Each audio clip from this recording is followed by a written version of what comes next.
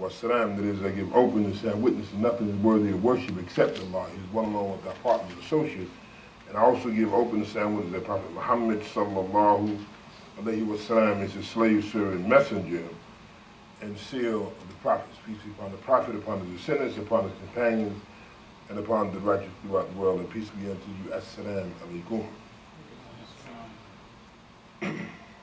We are forever thankful to Allah, highly glorified to see for allowing us to unite for Jummah.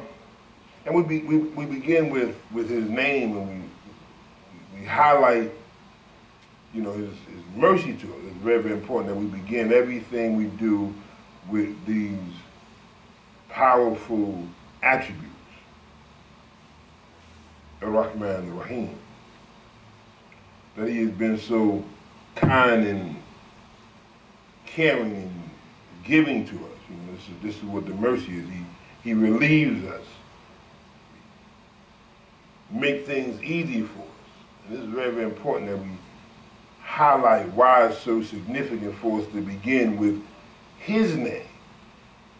We don't begin in our name, we don't begin with any other purpose. We begin with Allah's name so Allah can so that he can guide us through. He can guide us through, he can give us the aid, and we give him the highest respect and the most praise. And when we give this greeting of Assalamu alaikum, it's very important for us to understand what that means for us. That it is a constant reminder of what we are about. You know, sometimes people think about this ideal of peace in terms of passivity. You know, peaceful people, humble people, not really involved in engage in change. When we talk about this peace, we're just really talking about the kind of discipline that's needed to grow life. Because where there's no discipline, you can't grow life. That's why Allah tells us when we talk about Hajj, it said, turn your face towards the sacred mountains. And what's so significant about that is, it's the principle of direction. See, without direction, you make no progress. He says, so you turn your face. Here's the direction we talk about Qibla every time we make that We have a we have an orientation, we have a focus, because that's where your power lies. So your power is in your focus. If you have scattered thoughts, there's no power. If your life is all over the place, disorganized and cluttered, there's no power. Your power is realized through focus. That's why Allah said, turn your face, turn your attention. You got to get some direction in your life. That's why Muhammad, the Prophet Allah, says of him, sallallahu alaihi wasallam, he said, didn't we find you wandering and we gave you guidance? Just imagine in the world how many people just wandering aimlessly, aimlessly through life. No focus, no direction. They lack power. And because they lack focus and direction, they're not able to achieve what they really have the capacity to achieve because they have no focus and they have no direction. And that's why we emphasize this ideal of guidance, how man needs guidance, because Allah said, first of all, that he created everything, then he gave it guidance. He don't just will a thing into creation without any guidance. He gave us a conscience. That conscience reminds us if it's right or wrong. He said that he breathed of his spirit. He said he also created the human being, then he gave him the distinction between that which is right and that which is wrong. He already had the morality in his body. That's why a little child goes and sneaks because the child knows that's not right. The little child who's not even really aware of what's going on in the world knows that that behavior of you going into the cookie jar without permission, you know that's not right. Allah already put that in your being. So he said that he creates and then he gives a thing guidance. Then he also says he creates, give a guidance, then he gives a destiny. That all of us is on this journey called life and we're moving towards our destiny. And as we move towards our destiny, we need guidance. Without guidance, we have no direction, we're just wandering, wandering aimlessly through life. And when you wandering aimlessly throughout life, you do not know where you may end up at. So Allah said to Muhammad, the Prophet وسلم, himself, Did we not find you wandering and gave you guidance? Here's a man already willed to be the messenger of Allah, but Allah said, We found you wandering, you didn't know where you was going, Muhammad. You had no focus in your life. Mother died, father died. You don't know where your focus is. So he was already created and it was destined for him to be the messenger of Allah, for him to be the last prophet. And Allah said, with all of that, we had to give you guidance. Now, if Allah had to give guidance to the man that he destined to be his last prophet and his messenger, don't you know Allah has to give us guidance? He created us and he gave us guidance. He gave us the revealed scripture called Quran that came through Muhammad the Prophet sallallahu alaihi wasallam. So we start talking about guidance. We talking about hadith. Allah is al-hadi, Masjid al-hadi. We talking about guidance for a better life. When we submit our will to the law and do the work of Allah, then we're moving towards a better life. That's what the human being needs. The human being needs exposure to a better life. And the way we experience a better life is as we follow the will of Allah, of Allah, we will move towards living a better life. We talked last time, we've been talking about this verse We clearly said, هو الذي خلق الإنسان من نفس واحد it is he who created the human being from one soul. That's one of the verses we've been talking about. He created the human being min nafsin wahid from one soul. And that's why the Hajj was so significant because Hajj showed the expression of that one soul. Where you start dealing with a human being. See, if we're going to have a better life, we have to first get the proper perception of a human being. That's why there's so much disrespect for human life because people do not have the proper perception of the sacredness of human life. And the reason why there's a lack of and no respect for human life because most people have lost the concept of what it means to be a human being. He's a thinking being.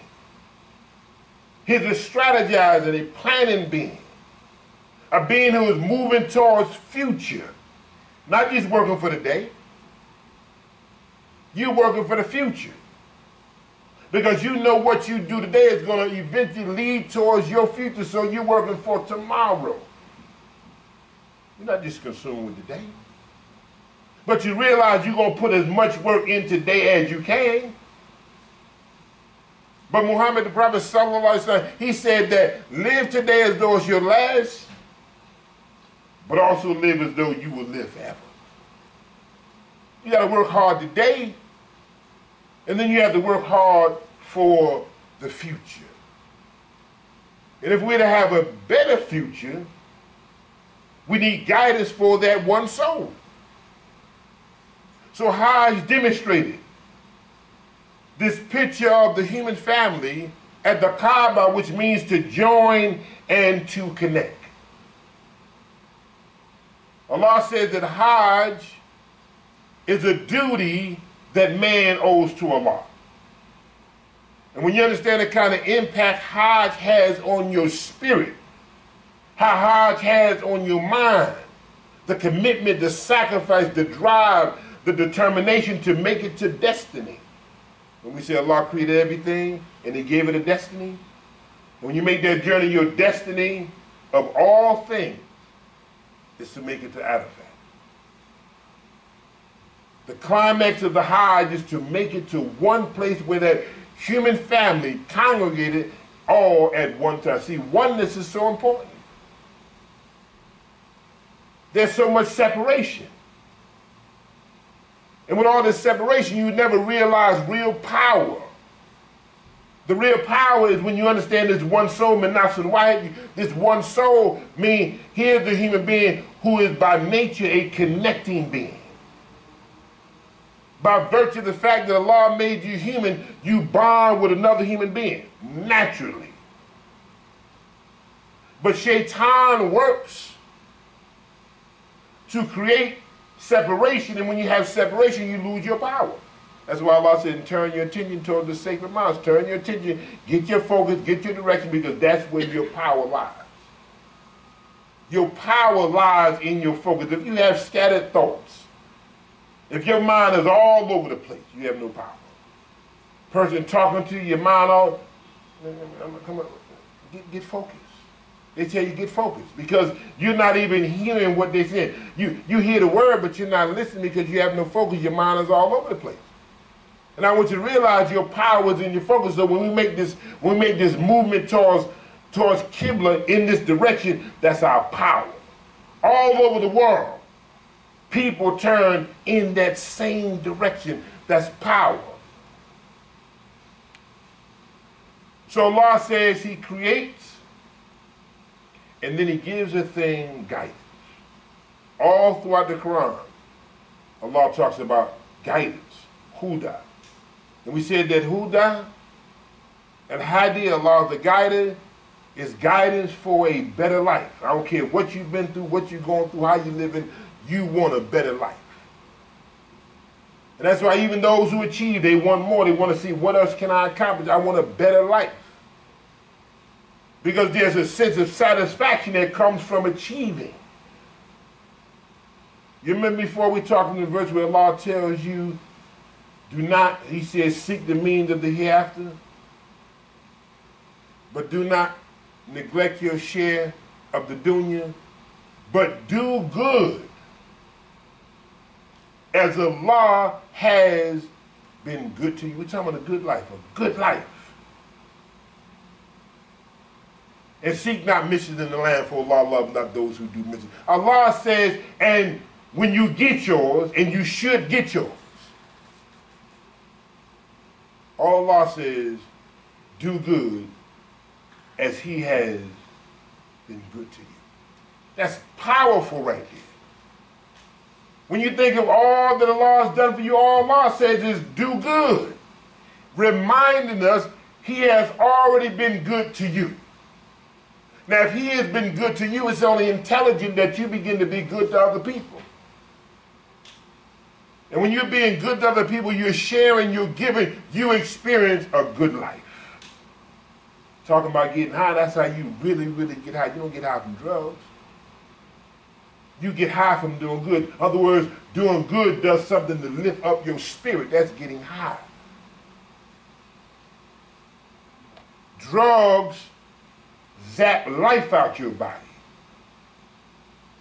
And even you take a prescription from the doctor, that drug is zapping life out your body even though you need it, it helps you to live a better quality life, but it's zapping energy and life out your body with all of the. And that's how people usually get high. They get high off drugs. And many of those drugs have been manufactured by pharmaceutical companies. That's why people are ODing every day. Because they've been under, under this illusion that they're going to get high but the substance is damaging their body. So if you really, really want to get high, Allah says, here's what you do. Do good as Allah has been good to you. When you start doing good, you help people and you see how what you're doing help to change lives, that's a high for you. Because it should do something for your spirit. All throughout the Quran, Allah says, help the indigent, help the poor, help the orphan, help the needy. That's going to elevate our spirit. We're going to be in a higher state of consciousness. We begin to evolve more spiritually. So Allah says, and do good as Allah has been good to you. So we see Allah is our Hadi, He's the guide. But He's also our Mumin. He's the believer. Now, I mentioned before, I to think about that. I'm a believer, Allah is the believer. He is the creator. We said before, time and time again, about this verse where Allah says, It is He who has created everything in the earth for you. He creates a thing and He put life and potential in that created form. And when He creates something, He gives an assignment and a purpose in life for its existence. When He created the sun, it's not out of a whim. It has a grand purpose to sustain life. So whenever Allah creates, He gives whatever He created a purpose and it is packed with life and potential. So if He's Al Khaliq, and then we say He's Al Mumin, He's the believer, what does that mean? I'm a believer. I believe in Allah. So I believe in Allah. I believe in his message. I believe in his books. I'm a believer. I believe in what Allah willed into existence. But Allah says he's the believer. Of all the things he created, he must believe in his creation. He believes in the power of the sun because he created the sun to do exactly what it's doing. He's the believer, then he's the one that secures what he created. See, when he created you, he secured your life. That's why we talk about Iman, we talk about faith. The Quran, all throughout the Quran, Allah addresses it more than anything else. Yeah, you ladina amanu. Yeah, you ladina amanu. Oh, you who believe. You don't progress and move in the world without belief. See, doubt holds you back. Belief means there's a sense of trust that you're moving on this ideal that I believe this is possible for me. Everything you do is based on your level of belief. Whether that belief is inspiring, whether that belief is empowering, or that belief is limiting. Because some people accept beliefs that hold them back. So Allah says, He's the believer. He believes in you. I want you to understand that. Do you know that Allah believes in you? He created you. He created you and then he gave you power, he gave you purpose, he gave you will, he gave you spirit. He believes in what he put in your body. Then the question becomes, how much do we believe in what Allah gave us? And how much willing, we're willing to, through our belief, execute it's one thing to believe, but now how we executing that belief. Because belief changes everything. Belief will inspire you to do things unimaginable. Lack of belief will rob you of the joy of living. They just don't believe. And I'm not even talking about a religious or spiritual. They just have no belief. They got a bunch of fear, a bunch of doubt, hesitancy. They just don't believe. Don't believe it's possible. When I looked very, very closely at the campaign of President Barack Obama, it was three words that built momentum in that campaign. It was just three words. And when those three words were said, those three words began to build momentum. The energy, the energy came up, and the people saw it's possible. We believe. After being told that it's not possible, what you can't do, somebody said, yes, we can. And when they when they called on the words of yes, we can, after being psychologically beat down, that no, you can't. So that's how people get beat up. That's why they, they lack faith. Might beat them up and told them, no, you can't do that shut up, sit down, be quiet. And then they begin to shrink in the face of opportunity. Then, they, then their faith becomes weak. That's why Allah said that you may add faith to your faith. He said, even with your faith, he's going to try you.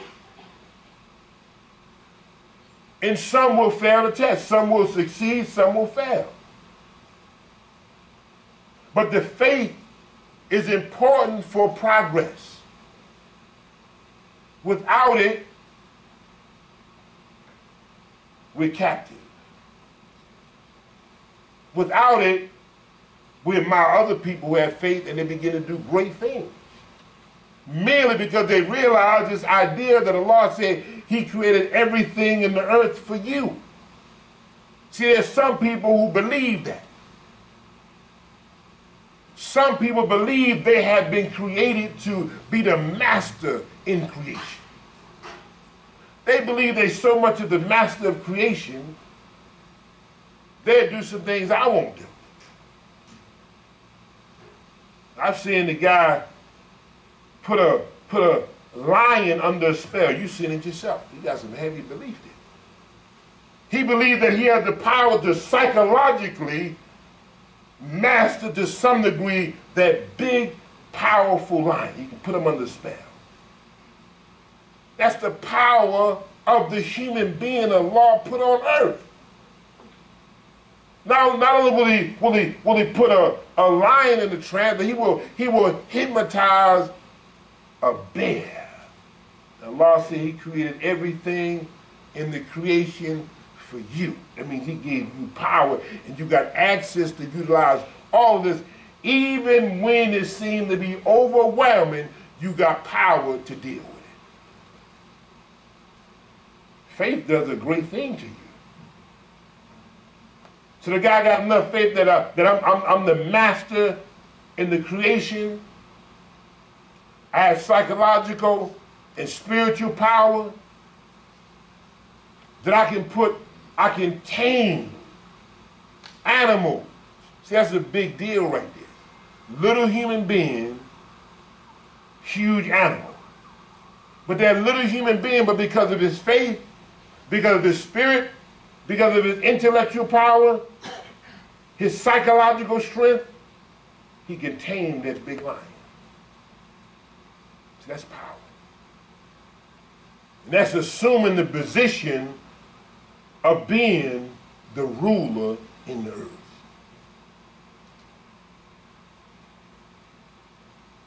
And that everything is under the authority of the human being. And It is more on the authority of the human being when that human being submits his will to the will of God, then the world works for you. The world works for you. Because Allah says he is the believer. He believes in you because he said he made all of this in creation to serve you and he made you the ruler, the master, the Khalifa in the earth. It's the powerful position Allah gave you. But it all starts with believing that picture that Allah gave you. The picture of yourself, Allah said, He made you ruler. He made you Khalifa. You're the one who come behind somebody who already showed you what's possible.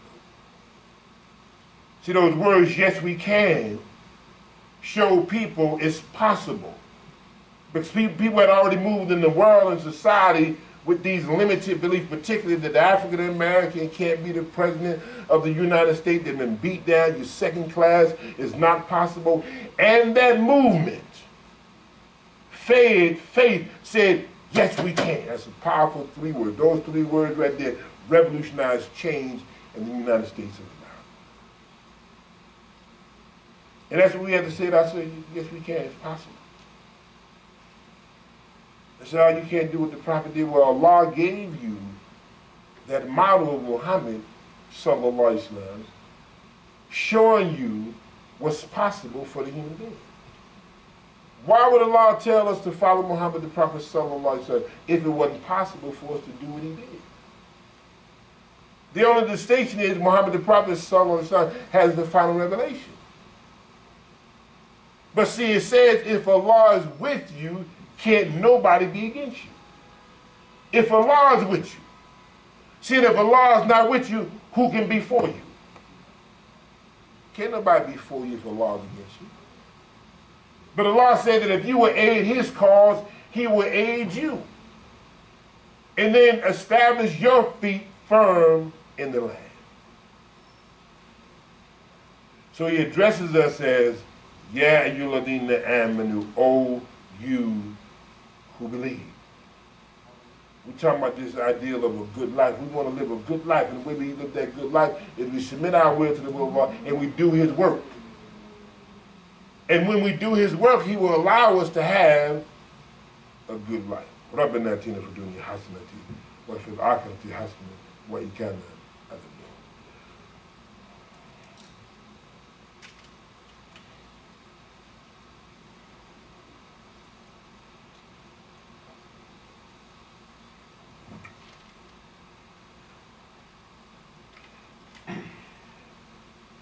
Assalamu.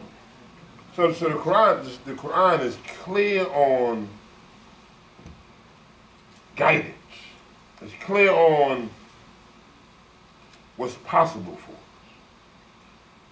Talking about the good life. You know, there's a verse in Quran where Allah says this about the good life because that's what Al Islam is. Al Islam is the good life. When we submit our will to Allah, we make the sacrifice to do His work. He said that He will reward us. And as He rewards us, He allows us to live a healthy, good, productive life. Listen to this verse. Allah says, Whoever does good, whether male or female, and is a believer, we shall certainly make him live a good life, and we shall certainly give them their reward for the best of what they did. See, whoever does good, it's all about doing good. The Quran asks the question, and what is the reward of good other than good? It's all about good. It's so much about good that Prophet Muhammad said that, Allah is good and accepts nothing but good. See, that's the good life. Allah is not accepting anything other than that which is wholesome. Other than that which helps to advance life. Decent, morality, respect, compassion. That's all Allah accepts. He said Allah is good and only accepts. So what you do, work hard to do good. And when you do that, male or female, see, it doesn't matter. All this class, all this sexism, that's what we talk about. Hyde is so important because it does away with all the sexism. The lack of respect for women all over the world, but particularly in America, no respect for all this uh, women's rights. You have the struggle for women to be respected as an equal with man. They're equal as a human being. But the role is totally different. Allah said he made that human being, that man, he created him in such a way that he goes out in the world and face the challenges. The word Kawamun, he stands up for the woman. He stands up for the society. He has the one to go out there in the wilderness and make something happen. So, male or female, whoever does good. It's not about your your your your gender. It's not about your sex. Allah is concerned about the human being. Even though Muhammad the Prophet sometimes they had to had to he had to elevate the status of a woman because somebody had told him that there's no respect, there's no dignity in the role of a woman. And the man, if he had a good baby girl, out of shame, he would bury that baby girl in the sand. See, Allah says, whoever does good, whether male or female, and is a believer, not enough to just be a male and female, but is a believer. If you do good, no matter who you are, and you believe, the result of that is, according to this verse, Allah will allow you to live a good life. Don't you want to live a good life? I don't want to live a bad life. I want to live a good life. I want to live a dignified. I want to live a life of respect, a life, a life of giving, a life of sharing, a life of loving, a life of doing good. I want to live a good life. And Allah tell me if I believe and just do good and help to build up society, He will allow me, that's what I want. He will allow me, He will allow you to have a good life.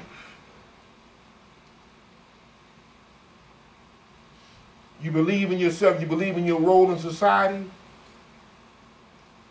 you believe in the creation and all of its possibilities, and it has been created to serve good that you live a decent lifestyle, and you recognize, recognize that the first law of nature is you work to preserve yourself. The first law of nature is self-preservation. Everything in creation is working to preserve itself other than the human being. The human being works hard to destroy himself. Have you ever recognized that? Have you ever seen the self-abuse in society that people are working hard to destroy them? Now look here, Allah made this human being so powerful. They've made all kind of attempts to wipe themselves out. They've been abusing themselves for 30, 40 years, but Allah made this human body, this human spirit so strong, sometimes it don't work. But there's so much self-abuse. I'm not talking about other people abuse. I'm talking about self-abuse. That the first law of nature is self-preservation. Every creature other than the human being works to preserve itself. So if you want to have a good life, we got to take care of ourselves. We got to be good to ourselves. You got to work on your health. You got to work on your wealth. You got to work on your mind. You have to, you have to wage war against the weakness in yourself. That's why when they was coming back from war, they was happy and celebrating the victory. We won the battle. No, no, no, no. That's, that's, that's, that's the minor jihad. The major jihad. Jihad al Akbar, the major jihad, is the battle against the weakness in yourself. When you defeat that, then you're really victorious. So you got to wage war against yourself. So you can really, really, really live this good life that Allah wants us to live because Muhammad the Prophet said Allah is good and he accepts nothing but good. So whoever believes whether male or female and does good, Allah said that certainly he will make them live a good life. And then he will give them their reward for the best of what they did. You know, you know, you hear the word the Solihat. Aminu Solihat. Those who believe and then they do good. See, that's the that's the constant theme in the Quran. That your belief is connected to some activity. Your belief is not just sitting by itself. Your belief is connected to what you do to help build up the human being.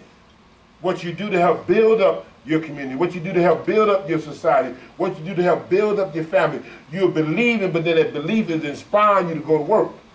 It's not just enough to believe, that's why it's connected to belief and do good.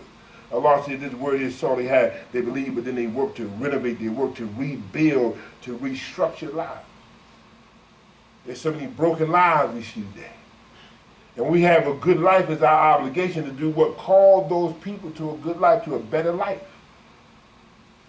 Because Shaitan's mission is to wipe out and destroy the human being. Don't you know that? That's why Allah tell you about intoxicants. Intoxicants and gambling. These are the tools of Shaitan. You know what they do? They, they, they wipe you out. They wipe you out psychologically. They wipe you out emotionally. They wipe you out financially. And Shaitan bring drugs, and intoxicants, whether it's alcohol, drug, whatever it is, whatever, you, whatever you're sniffing.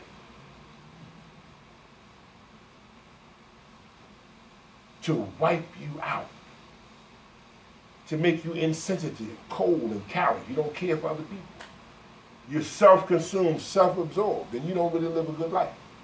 So you can't live a good life when you abuse yourself psychologically. You can't live a good life when you abuse yourself emotionally. You can't live a good life. That's why I tell you about getting high. People I've looked at over the years, abusing themselves over time it wiped them out. It didn't wipe them out all physically, it wiped them out psychologically.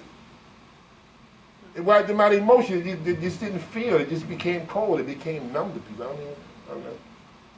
Can't even, things don't register anymore. Because that's the tool Shaitan used to allow you not to live a good life. See, Allah wants you to live a good life. Shaitan wants you to live a bad, destructive I want to live a good life. So I want to follow this verse where Allah says, whoever does good, whether male or female, and is a believer, he will certainly make you live a good life, and then as a result of you living a good life, he shall certainly give you the reward for the best of what you did. It's about a good life. And when we submit our will to the will of Allah, we're willing to make the sacrifice. That's one of the key principles we learn from the Hajj. You can't be selfish. If you really want to live a good life, you can't be selfish.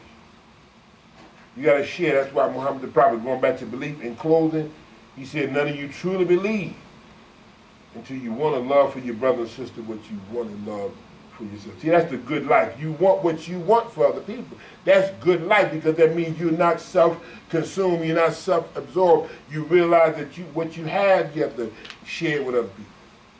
Because everything about our body is giving. We breathe the air in, we give it back out.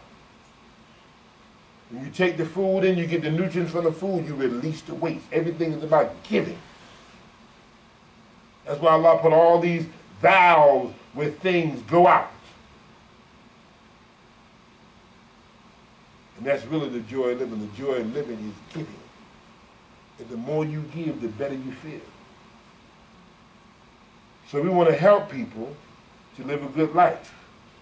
You're not going to live a good life in poverty. Shaitan works to create poverty. You're not going to live a life on welfare. People have made welfare and begging a profession. They're comfortable with begging. They're comfortable with, with poverty. They're comfortable with welfare. Now I remember now, like Muhammad said that welfare is really saying farewell because that's what happens. You say farewell to your dignity as a man. You say farewell to your dignity as a woman. Welfare, the help and assistance is something that you use just to get you by. But people have become permanent participants of welfare, and it has taken the productive urge out of the human being. And Muhammad the Prophet said that no descendant of Adam can enjoy a better meal than the one that he earned with his own hands. We have been created to produce. We have to go out there and till the soil and build the society that reflects what it means to be an evolved, dignified human being. Peace be unto you. Assalamu alaikum.